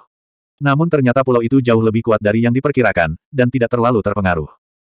Namun, saat Megalosaurus ini sedang beristirahat dan menghibur diri, salah satu pulau tiba-tiba mengeluarkan suara yang tumpul, dan pada saat yang sama, cahaya yang menyilaukan terpancar. Saat suara dan cahaya muncul, Megalosaurus ini langsung bergetar. Mereka yang sedang beristirahat segera bangun, dan mereka yang sedang bersenang-senang segera bergegas. Semuanya mengepung pulau ini. Mereka melihat tidak ada tumbuh-tumbuhan di pulau ini, hanya bongkahan batu saja. Batuan ini jelas bukan benda biasa. Setiap batu terhubung ke sebuah pulau. Ketika kekuatan dan aura yang kuat muncul di pulau itu, itu akan mengaktifkan bebatuan tersembunyi di pulau itu, dan mereka akan menjadi bagian dari bongkahan batu yang sama di sini. Selama bebatuan ini tidak berjauhan satu sama lain, mereka akan bereaksi dengan cepat dan memberitahu Megalosaurus ini. Ada penyusup. Semua Megalosaurus langsung saling berpandangan. Wajah mereka semua tegang, dan mata mereka berubah dari tampilan biasa saja menjadi keinginan kuat untuk bertarung. Naga tidak pernah takut bertarung, bahkan jika itu adalah pertarungan antar spesies mereka sendiri. Mereka benar-benar tidak menyangka akan ada spesies lain yang menyerang saat ini. Apakah ada yang salah dengan otak mereka? Ini aneh. Megalosaurus segera bertanya, mengapa hanya ada satu bagian yang menyala? Banyak Megalosaurus semakin mengernyit setelah mendengar itu. Memang kalau ada spesies lain yang menyerbu, pasti banyak bebatuan yang menyala. Mengapa hanya ada satu bagian yang menyala? Jangan pedulikan itu. Pemimpin kelompok Megalosaurus ini, seekor Megalosaurus, langsung berkata dengan lantang, ayo pergi dan lihat dulu. Banyak Megalosaurus yang langsung mengangguk dan segera bergegas menuju arah yang ditunjukkan oleh bebatuan dengan kecepatan penuh. Megalosaurus berada tidak terlalu jauh dari pulau yang sesuai dengan bebatuan tersebut. Dengan kecepatan penuh, mereka dapat mencapainya dalam waktu sekitar setengah jam. Pada saat ini, Luan, yang menjadi sasaran, sama sekali tidak menyadarinya. Ia masih berusaha berpindah dari pulau ke pulau. Faktanya, jika dia bergerak maju dengan kecepatan penuh sekarang, ada kemungkinan Megalosaurus ini akan merindukannya. Namun, jika dia bergerak maju dengan kecepatan lambat, Megalosaurus akan mudah mengejarnya. Sayangnya, mustahil bagi siapa pun untuk memberitahu Luan tentang hal ini. Waktu berlalu dengan lambat. Banyak Megalosaurus yang sudah berbaris. Jarak antara masing-masing Megalosaurus lebih dari 80 ribu kaki. Setiap Megalosaurus memiliki panjang lebih dari 20 ribu kaki. Kekuatan mengerikan mereka langsung menyapu seluruh langit. Ini adalah salah satu formasi pertarungan dasar antar naga. Karena hanya satu bongkahan batu yang menyala, itu berarti jumlahnya mungkin tidak banyak. Kalau begitu, mereka harus mengepung musuh dan tidak membiarkan satupun dari mereka melarikan diri. Kedua belah pihak semakin dekat dan dekat. Semakin dekat dan dekat. Akhirnya, setelah hampir setengah jam, tubuh Luan bergetar hebat. Dia telah tiba di tengah sebuah pulau. Saat dia hendak bergerak maju, dia berhenti dan segera menoleh untuk melihat ke langit di utara. Lalu, terdengar suara gemuruh yang keras. Langit di kejauhan dengan cepat berubah menjadi gelap, seolah akhir dunia telah tiba. Gemuruh. Gemuruh. Dunia ini dengan cepat berubah dari sore yang cerah menjadi dunia yang gelap. Saat ini, banyak megalosaurus yang akhirnya sampai di gugusan pulau ini. Tubuh mereka yang besar dan jarak antara satu sama lain menutupi area yang sangat luas. Aura mereka menyapu setiap sudut, dengan panik merasakan segalanya. Pulau tempat Luan berada juga ada di antara mereka. 2618 Gemuruh. Seluruh dunia menjadi gelap. Ada lebih banyak megalosaurus dari yang diperkirakan. 20 megalosaurus, tepatnya 20 megalosaurus, tidak lebih, tidak kurang. Setiap megalosaurus berada di peringkat 8, dan bahkan ada beberapa yang berada di puncak peringkat 8 megalosaurus. Megalosaurus ini menempati langit. Hanya aura menakutkannya saja yang sepertinya telah memenjarakan seluruh dunia, dan tidak ada yang bisa lepas dari indera mereka. Tapi, meski begitu, mereka tidak bisa merasakan keberadaan binatang aneh apa pun. Apa yang sedang terjadi? Kedua puluh naga di langit saling memandang dengan takjub, wajah mereka penuh keheranan. Peringatan tentang bebatuan tidak mungkin salah. Untuk memicu batu tersebut, dibutuhkan tingkat kekuatan tertentu. Itu tidak mungkin terbentuk secara alami. Mungkinkah mereka datang ke sini terlambat, dan pihak lain sudah melarikan diri? Namun, kedua puluh Megalosaurus tidak akan pergi begitu saja. Megalosaurus yang memimpin segera mengeluarkan suara keras dan berkata kepada Megalosaurus lainnya, berpencar dan cari. Setelah Megalosaurus mengeluarkan serangkaian auman naga, mereka segera berbalik dan memperluas area pencarian, mencari jejak musuh di area tersebut. Segera, Megalosaurus di langit menyebar. Bagaimanapun, semua orang memusatkan indera mereka dan tidak dapat menemukan musuh, jadi mereka secara naluriah berpikir bahwa tidak ada musuh. Di sebuah pulau tepat di bawah 20 Megalosaurus, Luan bersembunyi di ruang penciptaan. Melalui kekuatan ruang, dia bisa merasakan situasi di sekitarnya, tapi tidak seluas biasanya. Meski begitu, dia jelas menyadari betapa seriusnya situasi ini. Apa yang harus saya lakukan? Mata Luan dalam. Dia sedang memikirkan apakah akan menunggu Megalosaurus ini pergi dan melanjutkan perjalanan mereka, atau melanjutkan perjalanan di ruang penciptaan. Namun yang lebih penting, Megalosaurus ini jelas datang ke sini dengan suatu tujuan, dan mereka menyebar untuk mencari. Mungkinkah ada formasi khusus di pulau-pulau ini yang dapat memperingatkan para naga? Itu tidak mungkin. Luan mengerutkan kening. Ia percaya bahwa pemahamannya tentang bentukan tidaklah lemah. Jika ada formasi, dia harus bisa mendeteksinya. Apa yang sedang terjadi? Luan tidak dapat memikirkan alasannya, atau lebih tepatnya, ada terlalu banyak kemungkinan yang tidak dapat dia pastikan. Dia segera memutuskan untuk bergerak maju di ruang penciptaan. Dia tidak yakin berapa lama Megalosaurus ini akan bertahan, dan dia tidak bisa membuang waktu. Dia akan mengambil langkah demi langkah. Bagaimanapun, tidak akan ada masalah apa pun di ruang penciptaan. Setelah mengambil keputusan, Luan terus bergerak ke timur. Meskipun pergerakan di ruang penciptaan lambat, selama tidak ada masalah, dia akan mampu menjangkau area pencarian Megalosaurus. Antara langit dan bumi, 20 naga raksasa sedang mencari ke mana-mana. Kurang dari seribu kaki dari permukaan laut, Luan bergerak melintasi angkasa. Meskipun kecepatan Luan saat ini lambat, itu masih sebanding dengan kecepatan guru surgawi level 7. Waktu berlalu dengan lambat. Naga raksasa ini berulang kali mencari di sekitar laut tetapi tidak menemukan apa pun. Setelah beberapa saat, mereka hanya bisa kembali ke tempat asalnya dan saling menggelengkan kepala. Aku aku aku. Saya juga. Pemimpin Megalosaurus mengerutkan kening. Rasanya masalah ini tidak sesederhana itu. Bagaimanapun, ini belum pernah terjadi sebelumnya. Pada saat ini, tiba-tiba ia memikirkan sesuatu. Di pulau tempat mereka beristirahat, hanya ada satu batu yang menyala. Hanya ada satu. Meskipun ada celah besar di antara pulau-pulau tempat mereka meletakkan batu-batu itu, jika naga menyerang, ukuran dan kekuatan mereka umumnya akan menyebabkan setidaknya dua batu menyala pada saat yang bersamaan. Jika hanya satu batu yang menyala, kemungkinan besar itu bukan naga. Lebih penting lagi, setelah batu tersebut menyala, tidak ada batu lain yang menyala.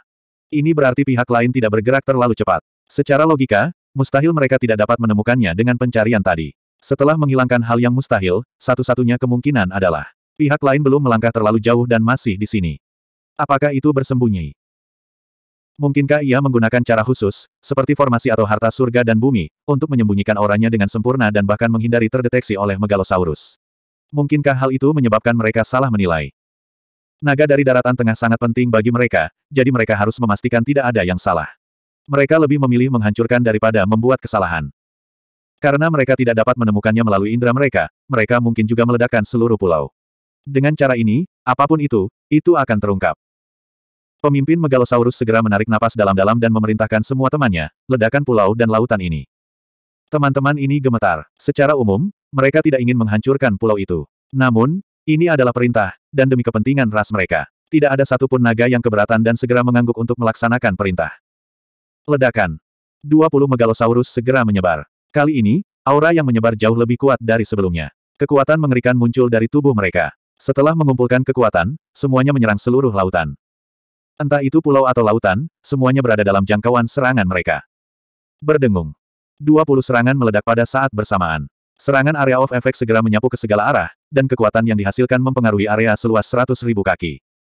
Ledakan. Dalam jarak 100.000 kaki, seluruh ruang meledak.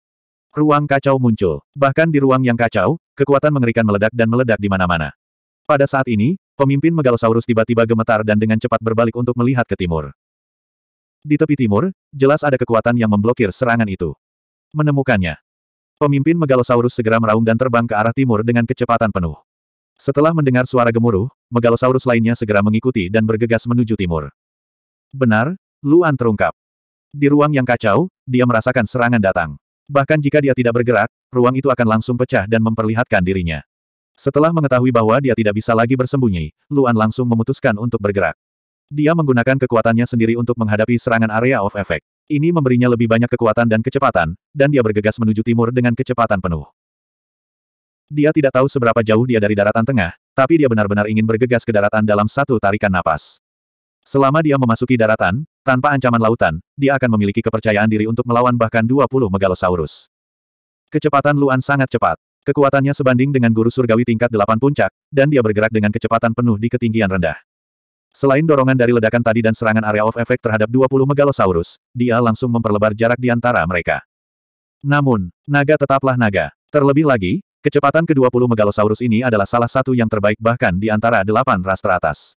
Angin kencang dan kilat hijau langsung muncul di sekujur tubuh mereka. Kecepatan mereka meningkat dari nol hingga mencapai tingkat yang mengejutkan. Bahkan binatang mistik tingkat delapan puncak di Laut Selatan Ekstrim pasti jauh lebih kuat daripada manusia tingkat delapan puncak, apalagi naga. Di antara 20 megalosaurus ini, ada empat binatang mistik tingkat delapan puncak. Kecepatan mereka jauh lebih cepat daripada kecepatan Luan. Dalam situasi di mana mereka telah menemukannya dan secara bertahap menguncinya, peluang Luan untuk melarikan diri hampir nol. Lebih penting lagi, fantasi Luan bahwa daratan tengah tidak terlalu jauh adalah sepenuhnya salah. Kenyataannya, jaraknya masih sangat jauh. Tidak mungkin memasuki daratan tengah dalam proses pengejaran. Gemuruh. Kedua belah pihak hanya berjarak 70 ribu kaki. Luan dapat dengan jelas merasakan aura mengerikan dari 20 megalosaurus di belakangnya, serta kecepatan mereka yang menakutkan. Jika ini terus berlanjut, dia pasti tidak akan bisa melarikan diri. Dia harus berubah. Bas. Mata Luan langsung memerah, dan matanya bersinar dalam kegelapan. Segera, kekuatan dan kecepatannya meningkat. Dia hampir setara dengan empat puncak tingkat delapan megalosaurus, tapi dia masih sedikit lebih rendah. Bagaimanapun, Luan baru berada di tahap akhir level 8. Jika dia berada di puncak level 8, bahkan jika dia tidak mengaktifkan alam Dewa Iblis, kecepatannya tidak akan jauh lebih lambat dari naga. Dia bahkan mungkin setara dengan mereka. Begitu dia mengaktifkan alam Dewa Iblis, dia pasti bisa melepaskannya. Bagaimanapun juga, batas roda kehidupan klan Hachiko pasti tidak kalah dengan Megalosaurus ini. Bahkan mungkin lebih kuat.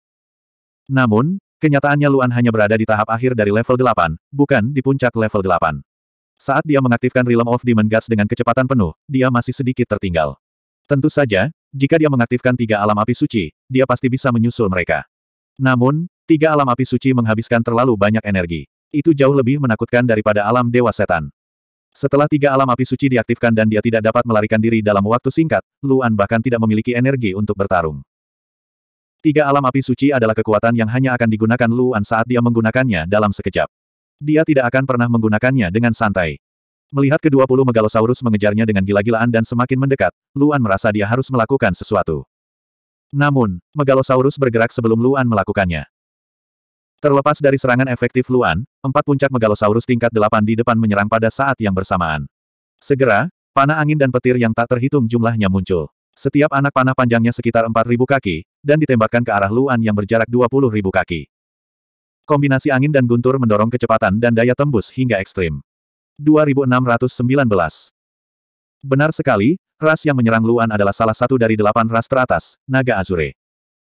Pulau yang diterobos Luan adalah salah satu wilayah yang diduduki oleh Naga Azure. Angin dan guntur menyatu, meningkatkan kecepatan dan kekuatan dengan pesat. Tidak hanya itu, ia juga membawa daya ledak yang mengerikan. Angin dan panah petir yang tak terhitung jumlahnya menembus langit, bahkan ruang yang kacau tidak dapat menghalangi kecepatan dan arahnya. Meskipun Luan berada 20.000 kaki jauhnya, dia pasti tidak bisa lepas dari serangan ini. Luan secara alami merasakan langit penuh angin dan panah petir datang dari belakangnya. Sejujurnya, meski postur ini terlihat sangat menakutkan, matanya masih gelap dan dalam. Dia memiliki keyakinan mutlak bahwa dia dapat menggunakan teknik gerakannya sendiri untuk menghindari semuanya, dan itu bahkan tidak akan mempengaruhi kecepatan majunya. Tapi alisnya sedikit berkerut, yang paling mengkhawatirkannya adalah kekuatan ledakan dari serangan ini. Meskipun Luan belum pernah bertarung dengan naga Azure sebelumnya, tidak sulit membayangkan kekuatan ledakan dari serangan angin dan guntur. Luan selalu menjadi orang yang sangat berhati-hati, jika berbagai macam angin dan panah petir meledak di sekelilingnya, dia tidak khawatir akan menembus pertahanan esnya, tapi itu pasti bisa menghalanginya. Begitu dia menggunakan Deep Ice, karena pertahanan es yang kuat, lawan kemungkinan besar akan mengenalinya dan mencoba menghalanginya sebelum memanggil Megalosaurus peringkat 9. Dia pasti akan mati. Tidak peduli apa, kecepatannya tidak mungkin melebihi angin dan panah guntur yang tak terhitung jumlahnya di belakangnya. Pertahanan adalah suatu keharusan, kalau tidak dia tidak akan mampu menahan serangan ini. Dengan kata lain, dia hanya punya dua pilihan sekarang. Salah satunya adalah untuk melawan, dan yang lainnya adalah untuk melarikan diri. Hampir seketika, Luan memilih untuk bertarung. Dari sudut pandangnya, dia tidak bisa melarikan diri. Lawan akan terus mengganggunya dan memanggil Megalosaurus peringkat sembilan. Ketika saatnya tiba, Megalosaurus yang mengganggunya akan membantu membimbingnya, sehingga semakin sulit untuk melarikan diri. Tetapi jika dia memilih untuk melawan dan melukai atau membunuh Megalosaurus ini, bahkan jika seekor naga berhasil melarikan diri dan memanggil Megalosaurus peringkat sembilan, pada saat naga itu kembali, dia pasti sudah membunuh Megalosaurus lainnya dan melarikan diri. Begitu Luan mengambil keputusan, dia tidak akan ragu-ragu. Dia tiba-tiba berhenti, dan sosoknya yang melaju ke depan dengan kecepatan penuh secara paksa melambat di udara. Megalosaurus, yang berada 200 ribu kaki di belakang mereka, jelas tercengang saat melihat ini. Dalam sekejap, panah angin dan guntur ada di sekitar Luan. Bagaimana Megalosaurus bisa melepaskan kesempatan sebesar itu? Azure Dragon yang memimpin segera meledakkan angin dan panah petirnya sendiri. Panah angin dan petirnya paling dekat dengan Luan, dan setelah kekuatannya meledak, dampak yang mengerikan menyebabkan angin dan panah petir di sekitarnya meledak. Segera, angin dan panah petir dalam jarak lebih dari seratus ribu kaki semuanya meledak. Atribut angin dan guntur yang menakutkan membentuk kekuatan ledakan dan destruktif yang sangat mengerikan yang melanda interior. Tidak hanya di dalam, bahkan energi yang menyebar pun sangat kuat. 20 megalosaurus segera berhenti bergerak maju dan melepaskan pertahanan tertentu untuk melindungi diri mereka sendiri. Gemuruh. Ledakan tersebut disertai petir dan angin, serta cahaya kacau di ruang kacau, sehingga sangat sulit untuk melihat apa yang terjadi di dalam. Namun, Azure Dragon ini memiliki keyakinan mutlak. Jika serangan gabungan dari 20 naga Azure tidak dapat membunuh manusia, maka mereka tidak perlu hidup lagi. Namun, pada saat penuh percaya diri ini, perubahan tiba-tiba terjadi. Saat ledakan terdengar, bongkahan es yang tak terhitung jumlahnya terbang keluar dari pusat ledakan dan menyapu ke segala arah. Saat bongkahan es ini muncul, semua naga Azure tercengang, tetapi mereka segera menyadari bahwa manusia ini menggunakan es sebagai pertahanan. Bagaimana es bisa menahan kekuatan ledakan angin dan guntur? Dia tidak diragukan lagi melebih-lebihkan dirinya sendiri. Suara mendesing. Potongan es yang tak terhitung jumlahnya meledak, dan potongan es yang terbang menuju 20 naga Azure juga tersebar di seluruh langit. Potongan-potongan es ini masing-masing lebarnya lebih dari 10 kaki. Karena ruang yang kacau, mereka hampir tidak dapat melihat bahwa itu adalah bongkahan es, tetapi mereka tidak dapat melihat apa yang terjadi di dalamnya. Suara mendesing. Pada saat ini, bongkahan es mengalir di bawah Azure Dragon yang memimpin. Jaraknya kurang dari 500 kaki dari lapisan pertahanan yang dibentuk oleh Azure Dragon, dan kurang dari 1000 kaki dari tubuh Azure Dragon. Saat Azure Dragon yang memimpin dengan sepenuh hati melihat inti ledakan di depannya, tiba-tiba ia merasakan kekuatan yang membuat jantungnya berdebar-debar, dan itu muncul tepat di bawahnya. Saat kekuatan ini muncul, Azure Dragon merasakan seluruh tubuhnya bergetar, dan tubuhnya menjadi dingin dari ujung kepala hingga ujung kaki. Perasaan ini seolah-olah Raja Neraka menghapus namanya. Fajar. Dalam sekejap, Cahaya merah yang menakutkan dan menyilaukan muncul. Bahkan di ruang yang kacau, semuanya menjadi redup. Seolah-olah semua cahaya terkonsentrasi di tempat ini, dan melesat ke arah tengah cakar depan Azure Dragon. Bang! Itu menembus lapisan pertahanan, menembus sisik naga Azure Dragon, menembus tubuh Azure Dragon, dan menghancurkan tulangnya. Ia kemudian keluar dari sisik naga di atas dan terbang langsung menuju langit. Benar sekali, hanya dengan satu pukulan, Luan telah menembus tubuh Azure Dragon sepenuhnya. Dengan api suci surga kesembilan mengalir ke tubuhnya, naga Azure ini pasti tidak akan mampu bertahan.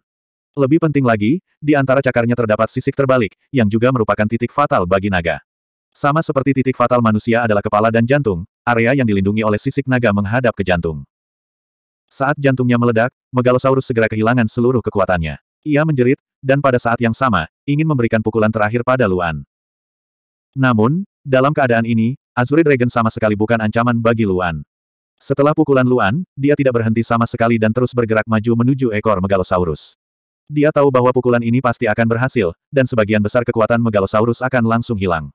Oleh karena itu, dia segera menghampiri ekor naga tersebut, melepaskan lengan es yang besar, dan meraih ekor naga tersebut. Sementara Azure Dragon tidak mampu melawan, dia langsung mengayunkannya.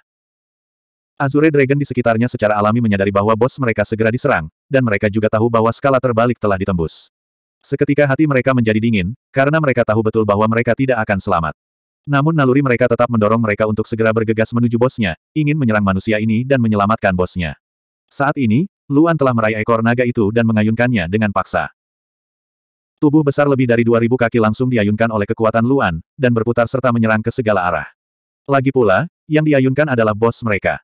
Bahkan jika mereka mendapat serangan, mereka tidak berani menyerang tubuh bos mereka, bahkan jika bos mereka pasti akan mati. Di bawah ayunan kuat seperti ini, Azure Dragon, yang sudah berada di ambang kematian, merasa semakin sulit untuk menahannya. Api di organ dalamnya berkobar dengan ganas, dan seharusnya dengan cepat menelan seluruh tubuhnya, tapi lengan es Luan melepaskan es dengan kecepatan yang lebih cepat. Es tersebut menyebar langsung ke seluruh tubuh Azure Dragon, menyegelnya di dalam es, dan juga secara paksa mengusir api, sehingga tubuhnya tidak banyak terbakar. Es dan api saling terkait. Benar sekali, Azure Dragon langsung mati. Untuk menangkap bandit, pertama-tama tangkap biang keladinya. Naga Azure ini tidak hanya kehilangan pemimpinnya, bahkan mayat naga Azure ini juga sangat berguna bagi Luan. Mayat yang membeku menjadi sangat kuat, tetapi karena cuaca yang sangat dingin, ia juga menjadi sangat rapuh. Luan segera mengambil inisiatif untuk terbang menuju Azure Dragon terdekat, mengayunkan mayat itu dan menghantamkannya ke arah Azure Dragon. Karena kematian mendadak bos mereka dan semua yang baru saja terjadi, semua naga Azure berada dalam keadaan terkejut, tidak dapat menerimanya. Meskipun mereka masih memiliki kemampuan tempur dan kecepatan reaksi yang kuat, sedikit keterlambatan dalam kecepatan reaksi akan ditangkap oleh Luan. Luan maju dengan kecepatan penuh. Kecepatan mundur Azure Dragon tidak secepat kecepatan pengisiannya, dan ditambah dengan penundaan instan dalam kecepatan reaksi, Luan segera menyusulnya, dan dia tidak bisa lepas dari serangan mayat. Menghadapi mayat itu, untuk melindungi dirinya sendiri, Azure Dragon tidak punya pilihan selain menyerang. Ia buru-buru mengayunkan ekor naganya, menggunakan kekuatan ekornya dan lapisan angin serta guntur di permukaannya untuk menyapu ke arah mayat. Ledakan. Keduanya bertabrakan. Kekuatan mayat itu sangat kuat, dan itu menyebabkan dampak yang jelas pada Azure Dragon. Sapuan ekor Azure Dragon juga sangat kuat, tetapi tingkat kekuatannya berada di luar imajinasi semua Azure Dragon. Dalam sekejap, Mayat tersebut meledak setelah terkena sapuan ekor, dan mayat tersebut berubah menjadi pecahan es yang tak terhitung jumlahnya yang berterbangan ke segala arah.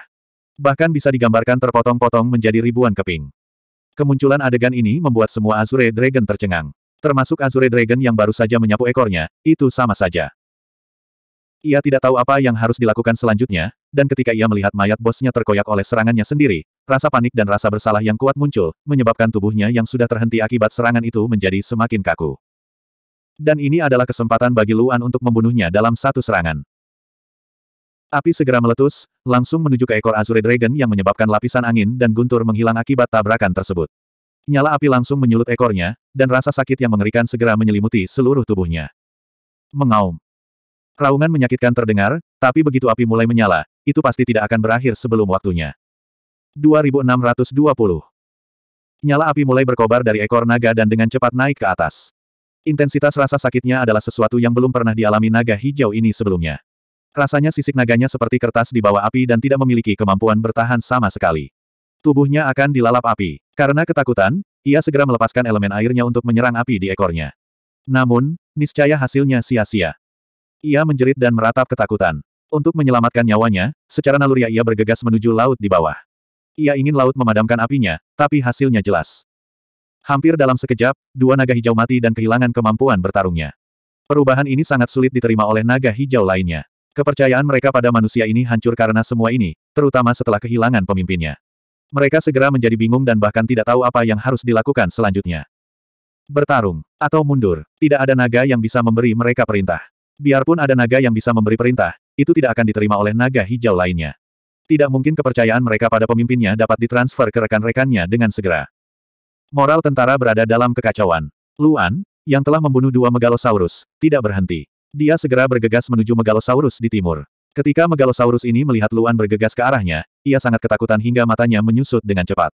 Semua orang bisa melihat ketakutan di matanya dengan jelas. Emosi seperti ini belum pernah muncul di hadapan manusia mana pun sebelumnya.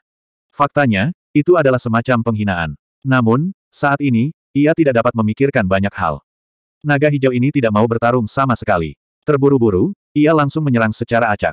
Kekuatan serangannya tidak kuat karena lebih fokus untuk melarikan diri. Ia berbalik dan lari. Ia sama sekali tidak ingin melawan manusia ini. Bahkan pemimpinnya pun tidak sebanding dengan manusia ini, apalagi. Naga hijau dengan cepat lari ke satu sisi. Setelah naga hijau ini menghindar, tidak ada lagi naga hijau yang menghalangi timur, memberi Luan arah untuk melarikan diri. Pelarian ini berbeda dengan pelarian tadi. Meski jarak antara mereka kurang dari satu tarikan napas, terjadi perubahan mendasar. Baru saja, 20 Azure Dragon memiliki kepercayaan diri untuk membunuh, tapi sekarang, 18 Azure Dragon gemetar ketakutan. Mereka tidak punya keberanian untuk mengejar. Namun meski begitu, Luan harus melakukan sesuatu jika dia ingin melarikan diri. Karena berhati-hati, dia percaya bahwa begitu dia membunuh dua naga hijau, 18 naga hijau yang tersisa tidak akan membiarkannya melarikan diri dengan mudah. Oleh karena itu, ketika Luan keluar dari pengepungan para naga, api suci surga ke-9 di tubuhnya telah diaktifkan sepenuhnya. Dia tiba-tiba mengatupkan kedua telapak tangannya di depan dadanya. Lalu, dia mengerutkan alisnya dan memisahkannya dengan sekuat tenaga. Di saat yang sama, total delapan titik cahaya merah yang sangat menyilaukan muncul di antara kedua telapak tangan. Saat delapan titik merah muncul, aura menakutkan menyebar. Bahkan ruang yang kacau tidak dapat menghentikan kekuatan ini. Delapan belas megalosaurus yang hendak mengejar merasakan energi terbakar yang mengerikan dan tubuh mereka gemetar. Kecepatan mereka sangat berkurang saat mereka memandang ke depan dengan ngeri. Jurus ini membutuhkan waktu lama untuk mengumpulkan kekuatan, bahkan lebih lama dari Breaking Dawn. Namun, naga hijau ini benar-benar ditakuti oleh Luan. Dia telah membunuh dua naga hijau dalam sekejap, jadi naga hijau ini tidak bisa menahan rasa takutnya. Itu juga karena Luan punya cukup waktu untuk mengumpulkan kekuatan. Luan berlari sejauh hampir seratus ribu kaki dengan kecepatan penuh. Karena kemunculan aura yang kuat ini, kecepatan naga hijau menjadi sangat lambat. Mereka bahkan enggan mengejar. Ketika mereka berada seratus ribu kaki jauhnya, Luan segera mengangkat tangannya, dan delapan titik merah terbang dari telapak tangannya. Delapan titik merah langsung berbaris di belakang Luan dan terbang dengan cepat ke kedua sisi. Pada saat yang sama, delapan titik merah meluas dengan cepat, membentuk delapan benda lampu merah besar yang tingginya 1.500 kaki. Mereka terbentang antara langit dan bumi. Delapan badan lampu merah membentuk jalur besar antara Luan dan naga hijau, mengisolasi mereka. Jarak antara setiap benda ringan sekitar 20 ribu kaki. Badan lampu merah memancarkan kekuatan yang sangat menakutkan. Langit dan bumi berubah drastis karena munculnya benda-benda lampu merah.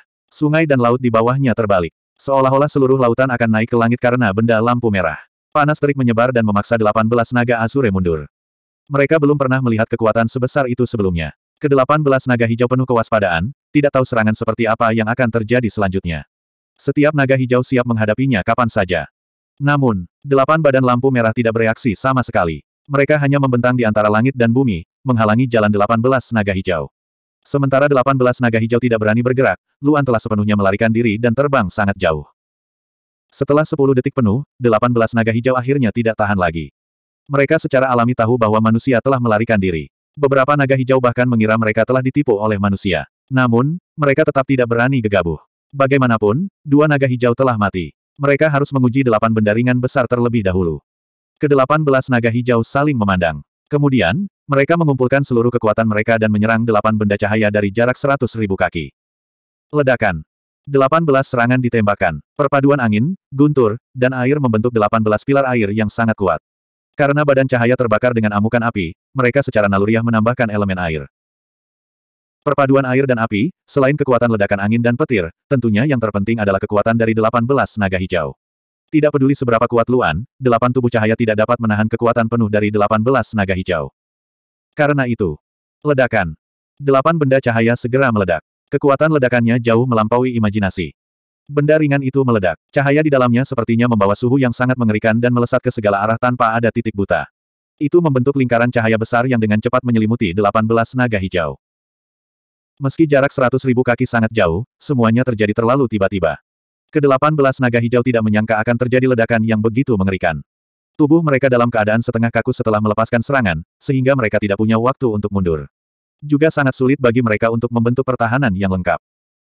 Dampak ledakan tersebut juga membawa unsur angin dan petir sehingga menyebabkan api yang semula terkompresi meledak menjadi lebih dahsyat. Dalam sekejap, apinya tiba di depan 18 naga hijau. Meskipun pertahanan 18 naga hijau sudah sangat kuat, ia masih mampu bertahan melawan api tersebut. Jika itu adalah api biasa, paling banyak itu akan menembus pertahanan mereka dan mengenai mereka sedikit. Namun, nyala api kecil ini tidak dapat menimbulkan banyak kerusakan pada mereka dengan sisik naganya. Bahkan bisa diabaikan. Namun, ini adalah api suci sembilan surga. Ketika api suci sembilan surga menyentuh tubuh naga hijau, bahkan sisik naga mereka pun langsung terbakar. Api yang mengerikan dengan cepat menelan tubuh mereka dan menyebar dengan cepat.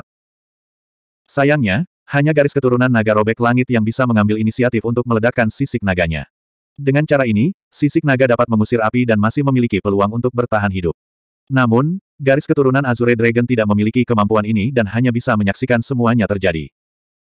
Dari 18 naga hijau, hanya 10 yang lolos dari ledakan. Sebanyak delapan naga hijau terkena kobaran api dan langsung mengeluarkan teriakan yang mengejutkan. Mengaum. Tangisan mengerikan bergema di langit dan bumi. Sepuluh naga hijau belum pernah mendengar tangisan menyedihkan seperti itu. Mereka telah mengalami pertarungan antar naga yang tak terhitung jumlahnya, tapi mereka belum pernah melihat atau mendengar pemandangan seperti itu. Mereka ingin menyelamatkan rekannya, dengan panik melepaskan elemen air untuk mengusir api. Namun, apinya terlalu kuat, mereka tidak bisa menghilangkannya dengan paksa dari tubuh mereka. Tidak peduli bagaimana mereka mencoba mengeluarkannya, tetap saja meninggalkan bekas terbakar. Namun, beberapa naga hijau sangat pintar. Mereka dengan paksa menggunakan elemen angin dan petir untuk memotong tubuh rekannya. Beberapa ekor dan tubuh naga hijau terkontaminasi. Bahkan jika mereka lumpuh, itu masih lebih baik daripada mati. Ketika semuanya berhenti, dari 20 naga hijau asli, hanya 13 naga hijau yang masih hidup. Di antara mereka, tiga naga hijau dipotong paksa bagian tubuh atau anggota tubuhnya. Darah segar mengalir turun dari langit seperti air terjun ke lautan, mewarnai lautan menjadi merah. Tidak ada yang mengharapkan hal seperti itu terjadi. Sepuluh naga hijau yang tidak terluka memasang ekspresi serius. Tidak peduli apa, mereka harus segera memberitahu leluhur mereka tentang masalah ini.